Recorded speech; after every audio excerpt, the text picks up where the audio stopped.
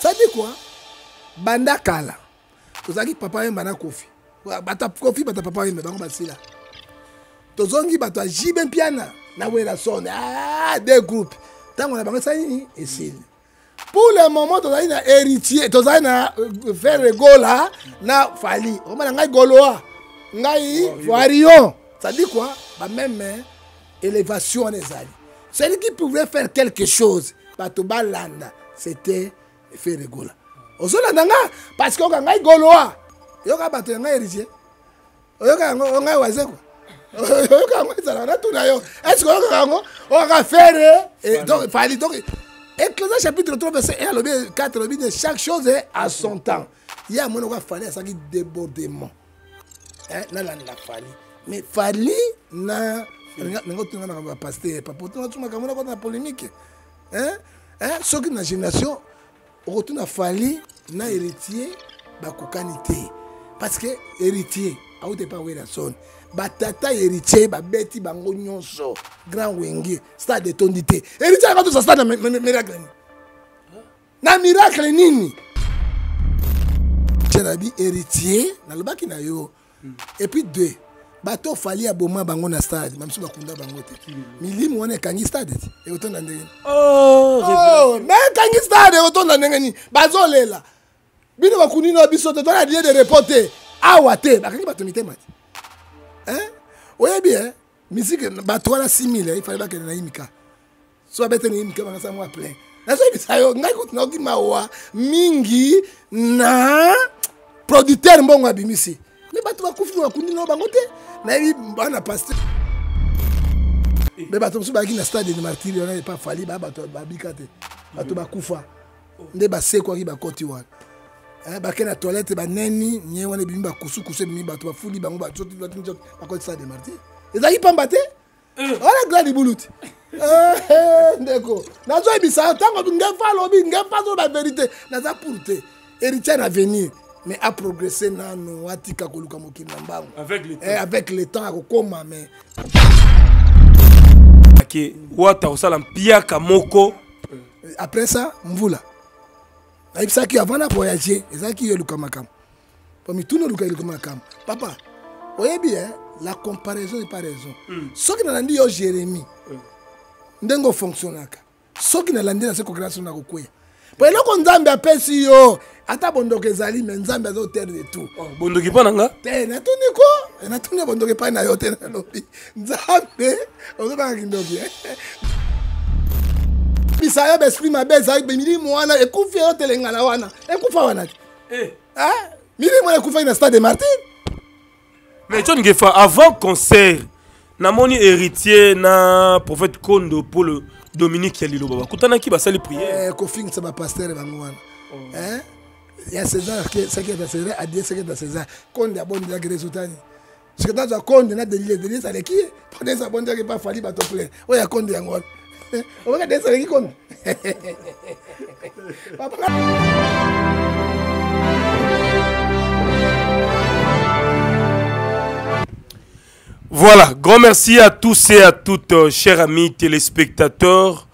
Meilleur vœu chez vous, bonne année 2023. J'ose croire que fête ya Noël eleki malamu na ba famille na biso nyonso. Alors, clin d'œil spécial à tous nos abonnés ainsi qu'à tous nos partenaires. Mimi Ndoumé na Bundes, Nadine Maïfoula na Bruxelles,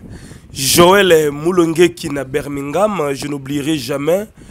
Le célèbre Dieu Nzundu na Washington, maman Clotilde Bondo, le plafond des reines, bato nyonso bapensaki na biso na période ya fete to ya Noël, kolo abatela bino, ba bakopense na biso mpe mpona le 1er janvier, soyez également béni. Je suis là avec euh, l'homme de Dieu, le prophète du peuple, John Ngefa, que vous aimez beaucoup. Il est de retour à Kinshasa après un bref séjour euh, vers euh, euh, Mbandaka. Tout mec un peu ko développer Nangefa par rapport à l'enrôlement des citoyens congolais, c'est Bandaki, mais aussi Marmetal P élection 2023. Dans mon front et salami entre Matata Pogno, docteur Denis Mukwege et puis na Martin Fayoulou. Bazali contre système de tricherie oyo bango balobi kezali mise en place epai ya tshisekedi en dépit de ça tokotouche mpe makambo etali événement ya le 25 euh, décembre boyaki ezalaki concert euh, ya héritier watanabe na stade martyr concert yango ebetami tomoni son kitoko image kitoko me bato baye mingi te eza kindoki eza blocage baprière ya bapastere nde envoute yango to nini john ngefa oloba yango totalere awa papa ngefa bonjour bonjour monsieur jérémi lwemba ami de tous les temps ata tokabana na nzoto ya molimo tozalaki moko mpo nazalaki kobenga yo bisika nyonso nazalaki mpona tozalaki ko basentinele ya congo ezekiel 33 verset 7 eh, mokolo na lelo ebongisami ete tokutana mpo tosolola malgre bafièvre ezosala biso tout cela bagrippe mais nous sommes là toujours mpona kodefendre mabele ya bakoko na biso tosambela moke tata natiki mokolo na maboko na yo atiki mpe le 25 décembre oyo joueur noel na maboko na yo le 25 décembre yesu abotamaka le 25 décembre te ezali katolike moto batiaki journée wana ezwaka l'idolatrie me ngai nasalaka fete ya le 25 décembre te mpo na apocalypse ti jeunesse mokolo yesu abotamaka 25 décembre ezali te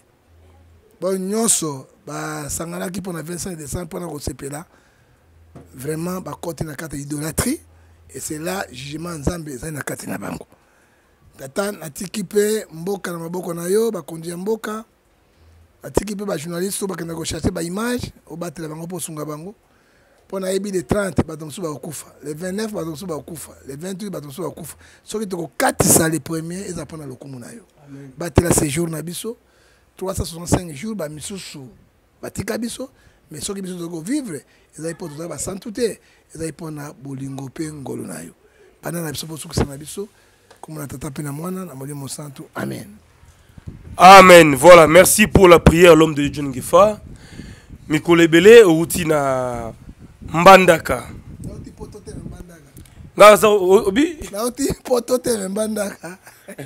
babi mbandaka ezali parmi bavilo eza rekile na congo etikala zamba ndenge bandundu ezali tout ça yo outi kuna est ce que mwa amélioration ezali est ce que mwa changement eza na mbandaka yango ndeko jérémi oyebi eloko na kosenga na bacongolais mpe hmm. na bino bajournaliste tobanga nzambe oh. parce que somme 111 verset 15 elobi la crainte de dieu c'est le commencement de la sagesse ya mibale tolongola politike ya bahaine ya misato tozala bakifanatisme aveugle te parce que bible ezobiso na jacques chapitre 2 verset 9 celui qui fait la euh, favorisme de conseil comme un agresseur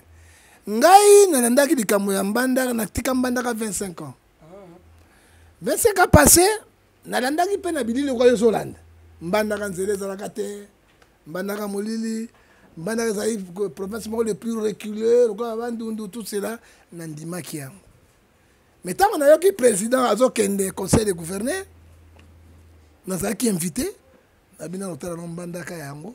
soki esimbi te nakomona président e nakoyebisa ye pourkui tozwi chance ya kodevelope mbandaka te jérémie Bible ezobisa biso na Jean 13 verset 34 je vous laisse le nouveau commandement aimez-vous les uns les autres mundele abosanaka poto te mm. pourquoi tokolingama mboka na biso te hein?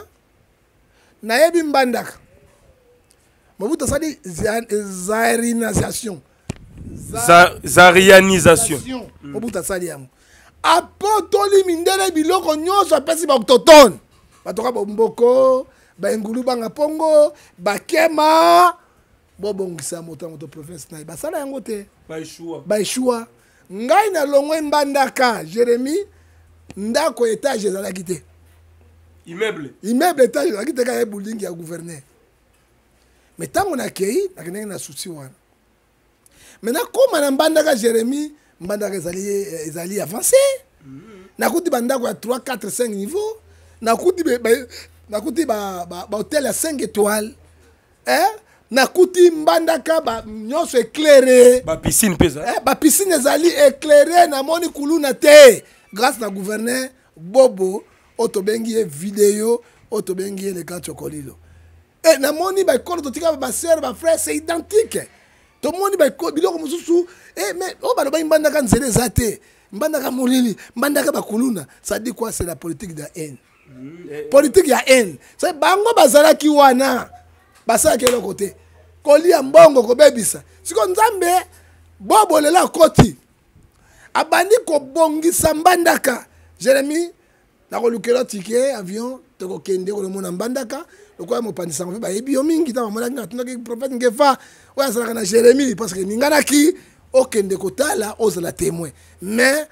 parmi ba 25 province oyo ezali parmi bapropre modernise mbandaka eza na kati oyo toyokaka tu wana ezali mensonge bible ezopekisa biso mm. na kati na mokanda na exode 20 verset 16 tu ne porteras pas de faux témoignage avec ton prophète oyo kaki nyonso lokuta mbandaka babirekile ezali na babikoro eza tika bacwa bazalaka baingende au fond là-bas hein? ne bavillage nde eza rekile mais oyo babengi mpena province chef lieu sika gouverneur avandi papa ngai nazali awa oyebi nakomi kuna nasombi bwato nakei na ndako ya pere nabongisi ndako ya pere eh, nasala ndako na ngai nazonga na ngai kuna ntina mona ovanda na kisasa ezali oh, okomaki chebi no nakomi epai na biso epai pere nakoti na ndako ya pere namoni eh, nasomi ye bwato na ngai natiki yango kuna na mojanga na ngai eh, natika naluka mwa bapeshe na babiloko mosusu ya mitambo oka de kua soki kabila azongi awa kwa président ngai nakei na ngai mbandaka azongi na ngai voilà merci beaucoup euh, john ngefa osalaki retour na mbandaka c'était une belle occasion pour toi 25 ans après oprofite otali chance na un meilleur gouverneur papa na mona gouverneur hein? te kokumisa ye te moi, moi j'aurais voulu ne opesa nga bavideo okana biso napesa bavideo moto abukani hein? Mm. baye na ndako ya gouverneur kokilela ye azwi moto yake na hôpital ngai moko namoni kasi mama olive asala yango eh, soki amoni kaka bato basangani atelemi na likambo nini oh boye boye boye boye asali solution si place omona gouverneur baminduki bani namoni yango te il est social il est social auti wana te mm. auti wana me biyaya te mm. biyaya bazoya eh, tokondima yango lisusu te topesa meilleur gouverneur wana asala mosala na ye atonga ayebisaki président na tie courant partout éclairé natongi baeglize natongi babalabala biloko nyonso navandisi politiki ya mbandaka mm. basalaka mpe ndenge nini eh? basalaka mpe ndenge nini président azwi mpe ye moko slogan wana ça dit quoi c'est meilleur gouverneur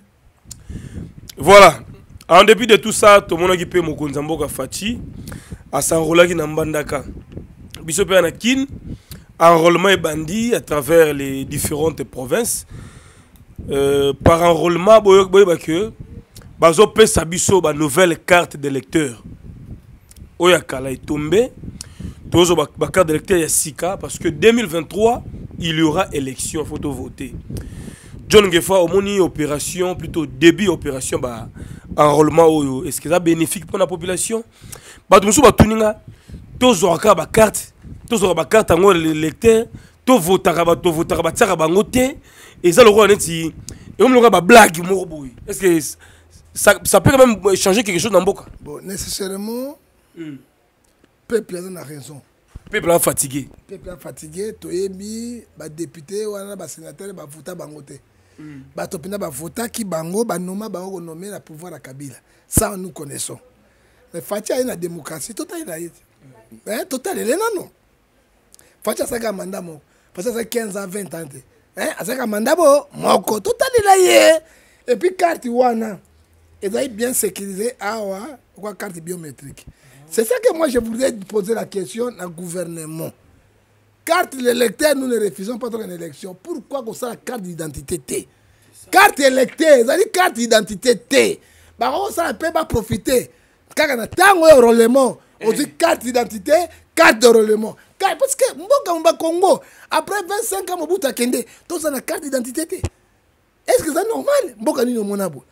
eh, ministre intérieur mosala nini ye azosala kaka okosala faci nsima eh, baministre oyo batali régional mosala bazosala nini mm. hein? ba gouverneur province mosali bozo sale carte d'électeur carte d'électeur hein? c'est pour aller voter mm. ce n'est pas les cartes d'identité na bamboka brazzaville bako compliqué bino ça ce n'est pas carte eh, d'identité c'est carte d'électeur ro nanga mpona kovote c'est tout hein? c'est tout mais nazoyeba te politique nini bazosala bamillion de million ça sort pour faire quoi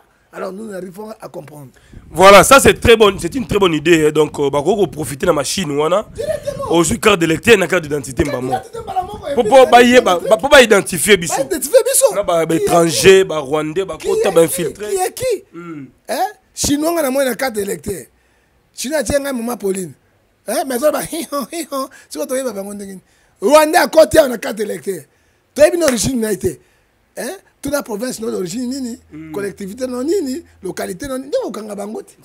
eh, c'est le moment de profiter comment pays mobimba après 25 ans boza na carte mobutu atikali biso carte d'identité ya vert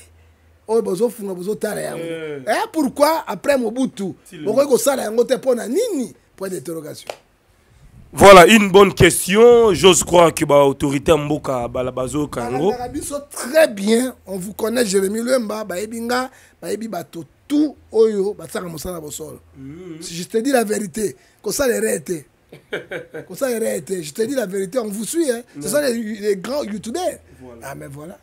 Voilà, merci l'homme de Dieu, merci beaucoup pour la reconnaissance wana. Tous en a période ba fête l'homme de Dieu euh, Noël ba chrétien bazo fêter, d'autres ba bi que to fêter en mais finalement to kola biso tout Noël mbotama ya Christ. Parce que Noël on a qui mokolo échange pourquoi? Bon, Jérémie nakotangela yo na Deutéronome 9 qui dit la parole de Dieu. Mm. Osée 5 verset 6 elobi mon peuple peri ba manque de connaissance oyebi nzambe azalaka moto ya sentiment te jérémie dieu restera toujours dieu mm. noel le 25 yesu abotami kibangisa le 25, le 25 mai mm. noel na bango tobengi bango bandoki na biso babini bofetaka le 25 na bakibangisa boza eloko bo moko bible eyebisi biso awa claire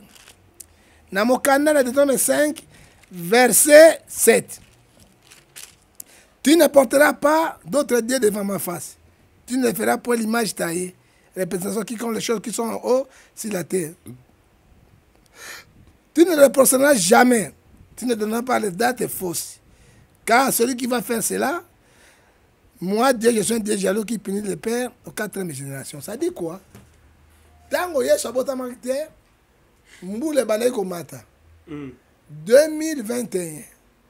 2022 2023 ntango yesu ayaki kobotama babandi na lan zero ebandi na 1 2 jusqu'à aujourd'hui soki okamati biblia mm. hein? pourquoi mon peuple périt ba manque de connaissance hein? nzambe aye na kanda na bino hein? baidolatrie bozosala yango mm. hein? nzambe akopunir bino severement pourquoi après jusqu'à euh, jeunesse tomoni ata mokolo moko te ke date ya le 25 décembre yesu abotami cestadire kua bato tu bazofete noel bokosambisama epai ya nzambe oh. parce que la, mais okosambisa epai ya nzambe te ndenge nini la bible c'est notre constitution que dit la parole du seigneur apocalypse 22 verset 18 nous lisons la parole du seigneur mpo bino botosa nzambe te apôtre 29 verset 18 je déclare quiconque entend la parole de cette prophétie et ce livre si quelqu'un ajoute quelque chose mais tu ajoute le 25 décembre na bible eza te desa na journi yesu abotami na beteleme ya solo na mokili na yuda mais date yango eza nini date ekomami te se confusion totale yango bamusulman bazoseka biso boudiste bazoseka biso epuis tokoma père noele botie mandefu minene akiti noele na mikolo batata babota na bana ezali peshe monene e bible elobi na 18 nini si quelqu'un ajoute quelque chose to ajouter le 25 décembre je nemeyoki yango mm. je frapperai le fleuillon écrit dans ce livre si quelqu'un retranche quelque chose de ces livres moi dieu aussi je vais lui retrancher je vais lui retrancher sa part dans l'arbre de vie et dans la ville sainte moto azobesa noël bokokota bokonzi ya nzambe vous êtes condamné eza bana na biso bazali condamné bino bamama bosomba yango babiloko na makambo ozali condamné c'est l'idolatrie ce que dit la bible Très bien. on doit respecter notre constitution ngai soki meme yesu abotamaki eh? le 35 janvier nakofete yango bakomi na bible ata le 2 ata le 4 le 5 nakofete yango awa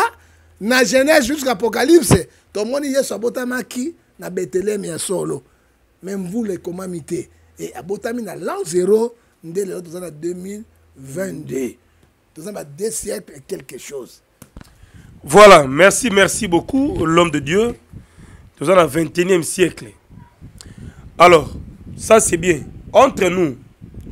tomoni quand même euh, le 25 décembre on est marqué par un événement concert héritier watanabe tosolaka ngo na avo voyageur mais concert yango ebetami wata abundi osalike bango eloko nayebisaki yo olobaka na nga kala ke wata osala mpiaka moko après ça mvula nayebisaki avant na voyage ezalaki yo eluka makambo po mituna oluka eluka makambo papa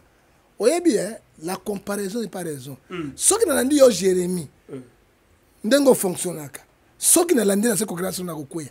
po eloko nzambe apesi yo ata bondoki ezali me nzambe aza otere de tout oh, bondoki mpo na nga te natuni ko eh, natuni bondoki epai na yo te nalobi nzambe ozobanga kindoki eh? nzambe azali na otere na nyonso cetadi kua omoni jeremi hmm. toyeba makambo verité sikoyo peple eyoka biso eh, omoni mato eza na motu me mato elekaka motu te hmm. soki mato eleki motu okomi lapin mpe okomi monstre sadi kua eloko mosusu ozosala jérémi otalaka niveau oza na yango na makambo oza na yango sadi kua banda kala tozalaki papa yemba na kofi bata kofi bata papa yemba bango basila tozongi bato ya jibe mpiana na werason ah, de groupe ntango na bango esali nini esili pour le moment tozali na héritier tozali na euh, ferre gola na fali omona ngai goloa ngai varion ça dit quoi ba même élévation wana ezali celui qui pouvait faire quelque chose bato balanda c'était feregola ozolanda nga parce que oka ngai goloa yoka bato ya ngai héritier oyoka yango ngai waze kua oyoka yango ezalaka natuna yo est ce que oyokaka yango okaka fere eh, fali donc Ecclésias chapitre 3 verset 1 alobi 4 alobi ne chaque chose à son temps ye amoni oka fali asalaki débordement eh, nalanda fali mais fali na nanga otuna na makambo ya paster papa otuna tu makambo nakota na polémique soki na génération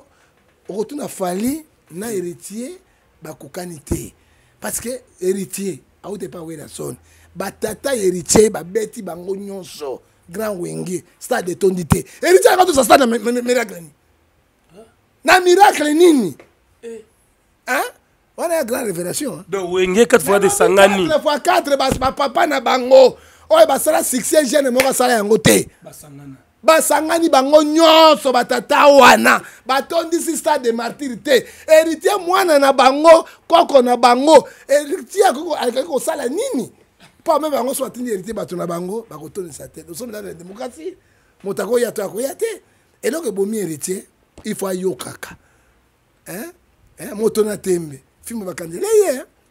hein? moto na tembe se bosambolua yo sikoyo oza d'accord ndenge héritier euh, aéchoue na ngai nayebisaki yo déjà na bi héritier nalobaki na yo hmm. et puis deux bato ofali aboma bango na stade bamisu bakunda bango te milimu wana ekangi stade ti ekotonda ndenge nini oh, oh, mais ekangi stade ekotonda ndenge nini bazolela bino bakuni na biso te tona lie de repos te awa te bakangi bato mitema te eh? oyebi e misike bato wana 6000 eh, ifale bakende na imika so babete na imika bakasa mwa plein nazoyebisa yo ngai kutu nayoki mawa mingi na producteur mbongo abimisi me bato bakufi bakundi nao bango te nayebi bana pasteur na batoto 45 baretire bana bango bakundi bango nyonso batikali Que dit l'Apocalypse chapitre 6 verset 10 Il crie d'une voix bakangi star yango moni mbula ebetaki ya monene avai kota héritier ne pourrait rien faire ah. hein? donc fale atika libanga ya kilo libanga ya kilo akoki kosala eloko moko te epuis ken piana alobaki makambo oyo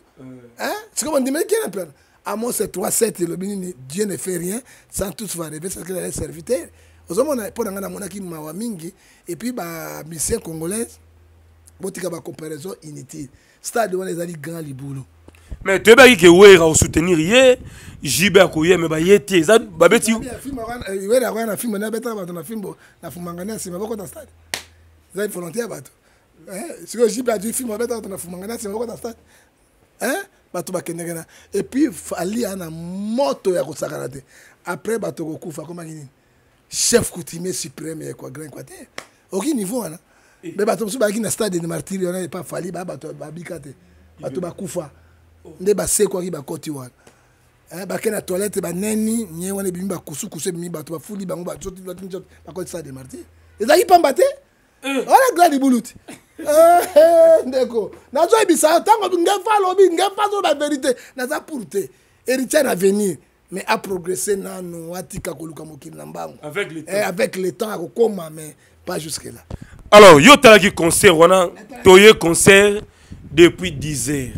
bato bazoya te babi oh no bato baza na baeglise na noel tozela 15 heures tozeli papa bato bazokota lokola bato babaki ebutike moko moko je crois que héritier fallait akabola billet ofele ndenge fallait asalaki fallait akabolaki billet ofele te moto akosa bino te meme akabolaki euh, billet ofele balinga bakende te bibembe eza wana milimo ya bato eza na ezokanga esprit de mort ekangi bato te hein tuna bato mosusu bana okotaka noko bato otindika bango bima bato mosusu babimaki te eh, moto akoti babimisi eh. nazoyebisa yo baesprit mabe ezali milimo wana ekufi yo telengana wana ekufa wana te eh. milimo wana ekufaki na stade de martine mais john gefa avant concert namoni héritier na prophète kondo polo dominique ya liloba bakutanaki basali prière eh, kofingisa bapastere bango wana oh. hein ya César ce qui est à César a dit ce qui est à César konde abondelaki résultat nini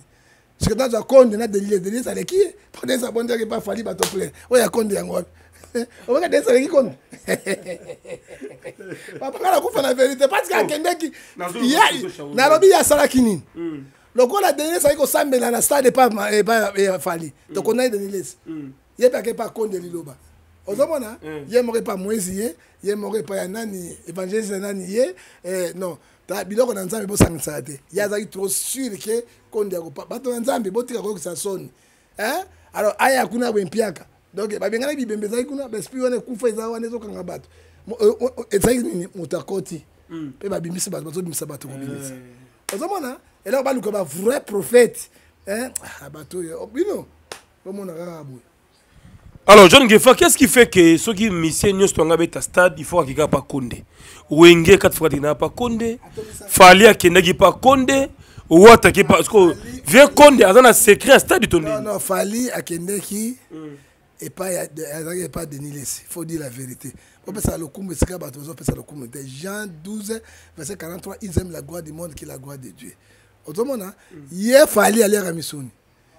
ye héritier aliaka misuni koni aliaka misuni te mais rapport na bango eza nini rapport oyo aliaka ndunda oyo aliaka misuni sikoyo rapport ezali mpa na bango nini papa moto na nzambe akota na bozoba wana te wana ya makambo ya monde etali bango moko na banganga bagere yango biso tozali mpo na spiritualité mpo na eprès 17 13 verset 17 bango oyo te mais soki nini esuki mwa potu ve konde ayebi secret stade tondana eloko te konde ana eloko otayebi stade te ya lokumu moko ya pampamba mpo namoni eloko moko mpe malongo esalamaki te akendeki atinaki bangelo batondisa stade rien ezali bosamboli balanda bakombo na kifanatisme wana me na bonzambe biso toleki bango oh. babanga na très fort ngefa ozomona aza très fort kite ngai babeta ngai na général nani akufa te komone nani eh, kifu abeta ngai seti bale aa na tolo kakakakakakaka bale ekotela ngai te na bible oyo natemoyaka yango nasimbi bible ya boye kakakakakaka ezalaki na wi te hmm. abengi mama adi akonesa abi akotani na oboma profete na bino oh. akosaki na mwana mwasi moko ya 17 alobi yo ngai babebisi yeke ngai luka mwana na 17 ans mwasi na ndako mwasi azalaki 20e femme na ye or ke mwasi wana abandi ntango na oteya yoka mateya malamu atindaka biso biloko nakabolaka bavieve na baorfele alors général akoyaki na mwasi oyo ayaki na 20e femme na ye aza na 17 ans soki lelo mbe bakanga ye lokola basali euh, nini obeko mai na mboka na biso wana te koma kobeko yango nini euh, non non non mwana 17 ans euh, viol te 17 ans 20 ans 18 ans au moins 18 ans 17 ans il faut bakanga yo ah, baminere wana ozomona ngai nayebi te babenga na basoda na ndako nakoti na ndako nati mama nakei naki na debage nabi natike na debage mama bi otata babage nabi te etikala na yango babage nde mpo eprotegeaka eh, nayebaki ke mbongo te soki ata nakufi mama ateki alesi bana ata deux semaines une semaine mpe bazongi na mpasi te papa nakei nazwi bible na ngai orke okende liwa eh. oyo témoignage nazoyebisa bino ngefo bozoka ye et je n'ai pas peur de personne nakomi kuna boye sali mo général mama na yo obenga nga général nabuma yo mm. oh, tina nasali nini kanga mbanga na yo epoutant kani me voi okata nga sali mm. nabi eloko nini nzambe na nakata libulu ya nkosi nzambe edenga libobenga mama diakonesi wana babengi bango 4 baye botala nde nazoboma prophète na bino mwasi wana aboya mpe libala mm. abimi motakala osimba makila moto na nzambe koko oyo wana mwana moke azoganga moke oganga kosimba makila moyebi eloko te eh. namoni kaka monduki ye moko kpakakpakpa ngai mpe atomboli ta nasimbi bible eh. ta masasi oyokoya siplate nazoyebisa yo soki bagarde corps na ye bazali bakotemoye yo bakisi ya makasi eh? nkisi ya makasi ya jésus christ jete innocent nayebaki mama wana te nabai nzoto na ye te namona silipe na ye te fumanga nini namona te libele osimba te nasimba te namona te mwasi ya junior osimba yango ndenge nini ntango mi na septième bale ekwei asutuki atindi kapitani zwa foudrie ya bi o mwa junior yo moko beti masasi ezwi ye te nga nakobete ndenge nini ekokweya nde ekosutuka mwasi abimi motakala osimbi mosali na nzambe obomi ye akati bilamba libala esilaka wana ngai mpe prefe namona fumangani ya mwana mwasi wana mm. kaka wana nazobisa yo te akati bilamba biso tozalaki awa ngai mpe namoni mpe yango nalobi sika namoni yango sikoyo tata ngai bomangaka na boye nasala eloko te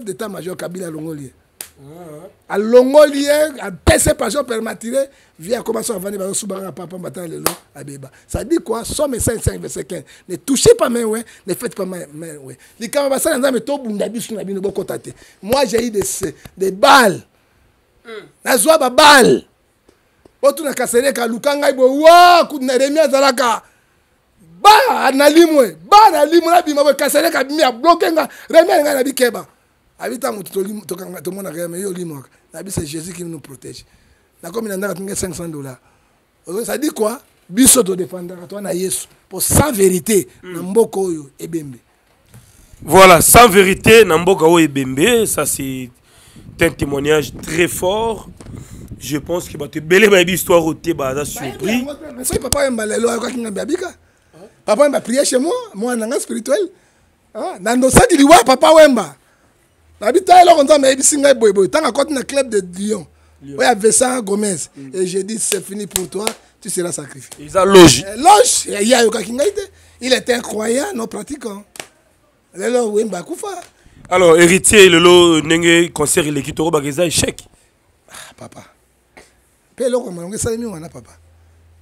bino bolingai bato bakufa mpo bokomante tokomante ndenge nini eloko emonani te eloko esalemi te so abetaki naye mikase mwa bon yo nabeta na eloko ya monene ya ndenge wana stade wana botata nso yango plein ezalaka vite emana match ya leopard na bapoliticien sergentini ngobila apart ngobila aza te kabila azalaki kimbuta en forme mbongo, eh, mbongo mais stade ata moitié te grand libulu wana grand libulu te cetadi ko bafali bana ba biloko moko na baniveau moko nalobaki boye mm. bato mingi bayaki wana baya bato bakufa bato bakei na toilette baneni bakusu ebimi baevoke bakomi bato bakoti stade mpo mm. ezalaki deborde na libanda na kati ezalaki kaka na stade de martyr te ezalaki na na kati na libanda etouffement ebomi bato est ce que ezalaki voie normale ati moto ndenge osala concurrence na ye voilà moi moto aosala mwa eloko na moke maître gims eh, ba maître gims soki baye quand même mpo ye mpe na moto ya likolo me oyo batikali apa ya fere gola mopotu mobolia oyo tobengi yango epolu epolu voilà le bon c'est chicha chimbu na turquie en tout cas meilleur vœu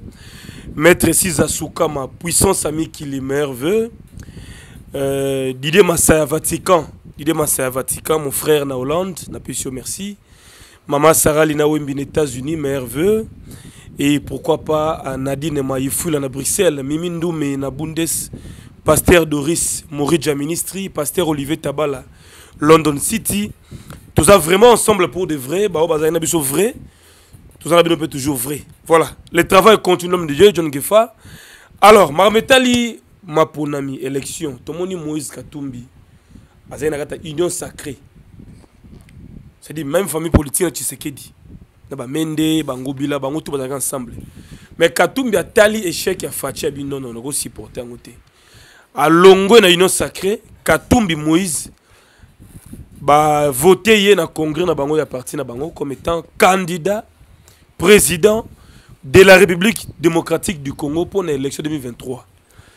kotala katumbi ndenge adirigea katanga un homme riche un homme bon très social Bongo na nini na kabila moi j'ai suivi katumbi tolobaka vérité jean 14 verset 6 Merci. abi na kati ya famille na ngai le plus pauvre eza ngai lelo ntango apesa gouverneur ya katanga akomi l'homme le plus riche na famille na bango moise mbongo nini azwaki azwi na politike na bene na mboka na biso te oyebi kolongwa moise na union sacré eh? mm. eyebanaki abali deja kotake etisekeni na mayele mayele mayele toya na mbandaka na bemba te je vis bemba mbandaka accompagne fati abeti carte moko ya pamba pour le moment jérémie na nkombo na yesu kandida moko akobetana na tshisekedi aza te hmm? tshisekedi c'est un grand politicien ntango akɔtaki bato to bongaki bilemba yebi eloko te tout cela politique tshisekedi avandisi meme sécurité na ye meme politique na ye un grand politicien napesi exemple tozalaki na mbargo ya minduki titi na kati ya guerre lelo balongoli minduki asomi minduki na voie normale c'est un grand politicien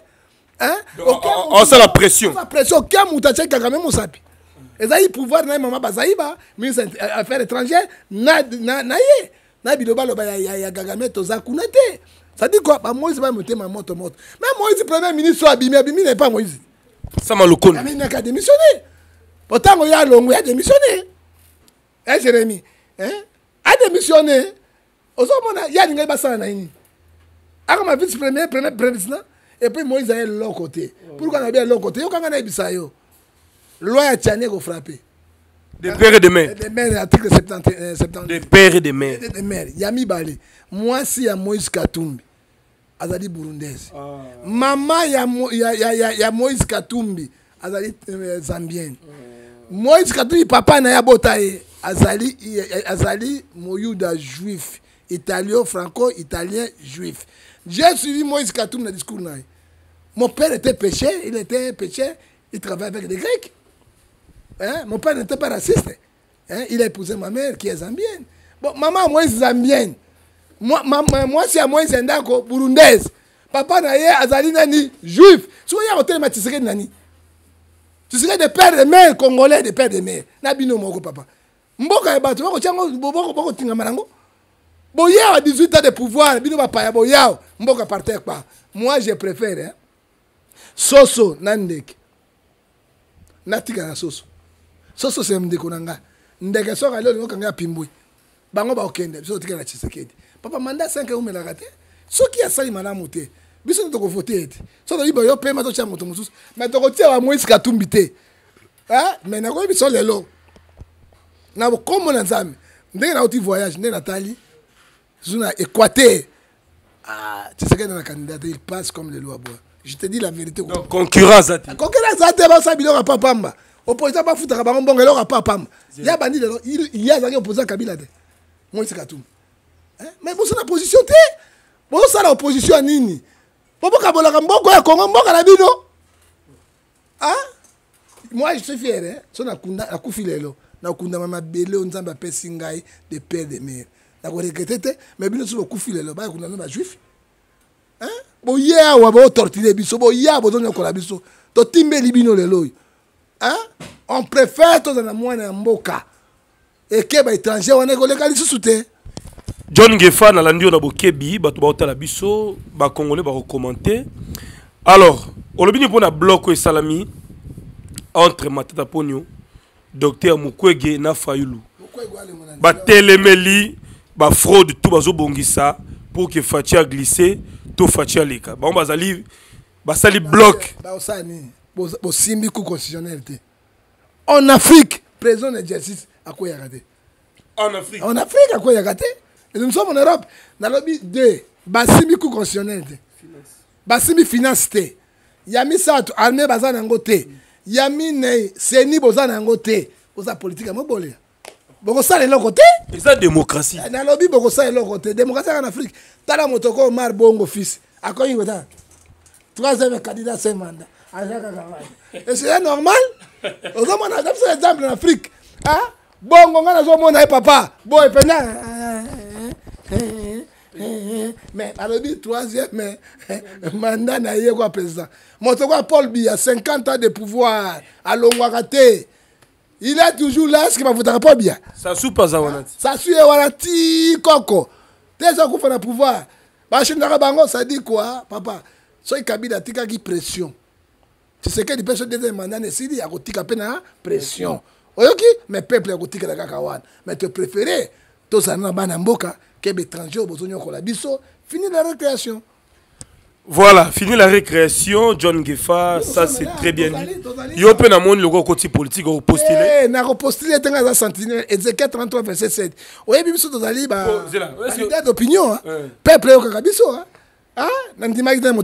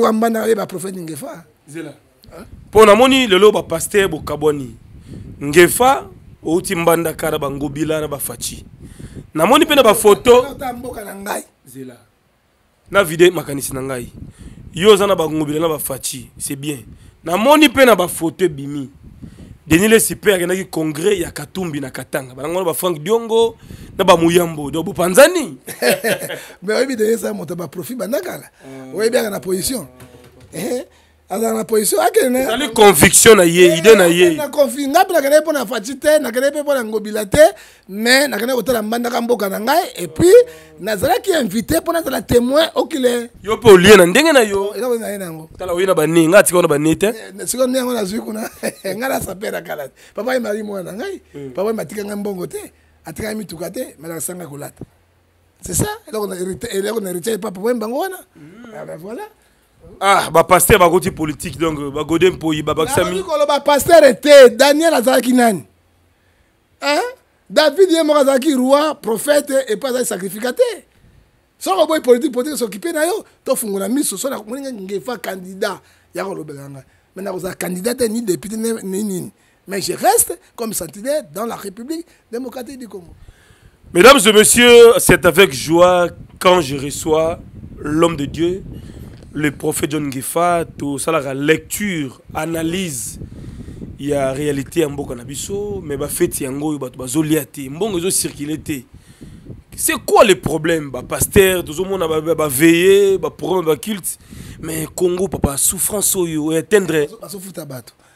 nakai na mbandaka nakuti babanke nyonso plein bazofuta bato na ye awa na bawestern union na babanke bazofuta bato loba nde ezali maigre salaire batombola mwa salaire ndeko oyo bato barespire mbongo etikalaka na politike boboloko boboloko epuis son les gens baza entourage ya bakonzi bakosaka bakonzi baza na muru ya peuple te eh, bakonzi bazali bazali ba magicien te ah non ça va ça va ça va ozomona ce sont les escrocs mais ba population mpe batunaka salaire bozozo ezokoka parce que vie biloko ezomata salaire moke souffrance ekosila na république démocratique du congo et puis euh, le prix ya biloko ya kolia faut ekita parce que bato base procure na ndako mosusu mpo oliaka ngombe eza problème na noel na makemba abonani na noel soki ofungoli miso mpo na bango tout vert donc kuna kaka matembele ma bapondu ya bikaka bamanga donc mawa trop mais mabumu na bango kuna ya bana na bango rouge rouge mpo misuni na bien quelle sorte injustice tokoloba vérité si les choses marche ça marche social esimbi nao na congo te hein? social les gens souffrent na social bobongisa social tokobeta no peuple congolais ana ntina pouvoir na bino te hmm. peuple congolais kaka futa mbongo na ye bien mm. social ne ezala abu o oh, bia bana batanga ekole basambela nzambe na bango abu o oh, bia mpo moto to akoma président te mais na congo eloko pamba epuis napesi bino conseil je dis la vérité au nom du seigneur na bakarte bosala baclan na bango oyo mais ndenge docteur mokongi okota na makambo ya salite wana ah. mais meilleur candidat oyo bazalaki kobunda na tshisekedi yaki docteur mokwege fasa na ye moko no asangisana bato basala moïse asali na moïse katumbi asali na kabila eh, asali lisusu na, na tshisekedi premier ministre oyo ya lelo oyo aye na combien de ministre na gouvernement central ozokosa baninga mokoki aza na matata ponio mpe eh? alo eza na sens te hmm. eh, babunda me ndenge nazomona lifashi azokende na yango kokela na zala te cela moi je termine pala Voilà, ça n'est fini, mesdames et messieurs. Merci à tout le monde. Doua ya Mulumba en États-Unis. Et bande konanga bobenga nga bapel, ba conseil, papa Philippe Kabouikou na Fribourg. le conseiller bona nde bato ebele bato ebele bazo ya basusu bapele te eh, bazo ya misusu bapele te toyebi politike na bino yango omoni pesa eloko ozwa eloko Eh, bible elobi na 1 thessaloniciens chapitre 3 verset dit oyo asali alia te surtout jérémie ndenge obwakaka bango kasi bayaka kobondela nga bwaka ngai bwaka ngai nakamwaka lelo bonane eloko nde bapesi yo Eh, ebele bazoyemba ku bapeli te hmm? zala mayele jeremi lwemba zala mayele oyoki pesa eloko ozwa eloko ozomona eza bien te ata mbota mpo bayembaka lisusu te eh. mais tokovivre kaka avec voilà. dieu tokovivre bible esi biso ni romain 8 31 si dieu pour nous qui sera contre nous mm. c'est ça alors pesa message ya suka peut-être na bamusicien oyo oh, tomonaki lobi bato bakufi baévénement tout ça ferre martyr eza na 2023 na mois de juillet en grosso modo okopesa ferre akoresir ah. et je te dis la vérité ferre akoresir mais bino olingi ya stade de martyr place mosusu ezalaka te kuna milimo wana bakokende te bakobenganaka bato te il faut prière na stade prière ya makasi pasteur moko atelema babengana ba esprit de mort wana bana wana baza wana bazotombuka epuis na match ya leopard soki eye wana susu babengani yango te baoliki bakopolaka kaka oh. mais je te dis la vérité sont les esprits sont là bana bakundi bango hein tiala mwana kutu bakundi ye lobi lobi awa ese bana bakundi bango ah voilà Voilà, merci à tout le monde. Euh, bonne année, bonne année. C'est Mama Yassi, femme légitime, agence Mayassi, Forza Italia. Merci Naba Maître Nyoso, Batala Rabisso, ba pasteur, ba autorité Mboka, euh, ba serviteur de Dieu, de partout, ba prophète et Belbo Benga Rabisso. Le travail continue. Au Lingo, les émissions, n'hésitez pas à contacter nous. tokopesa yo espace soki mpe olingi débat contradictoire john ngefa azali tokosolola meme banganga olingi oloba na ngefa azali bokosolola et donc euh, tozali vraiment ensemble pour de vrai nous sommes à kinshasa la capitale de la rdc kola azobomba biso azobatela biso na mawa na ye bato bazokufa du jour au lendemain tomonaki na congo central accident kota mpo maréchal tomoni kote oyo matadi kibala tozomona eza banini sacrifice ya pouvoir na bango mhm. na sacrifice milimo wana tu bazokufa bazokenda lieu de repos te bakosalela bazoka baesclave na kati ya bokonzi na bango bakoyibela bango mbongo na babanke kofandisa pouvoir na bango na autorité na bango jusqu'à mokolo mokolo nde kokoka kokufa nde apollo ange de mort ekozwa ye mpo kopemisa na lieu de repos eza mawa mingi fo tosambela mingi parce que eo bible ezoloba 1 jean chapitre 5 verset 19 nous sommes les enfants de dieu il faut savoir que le monde entier est sous la poussade du diable merci merci beaucoup rémi boboa merci charo glody merci exaucé misoa merci à tous en tout cas bonne fête chez vous ça n'est fini bye bye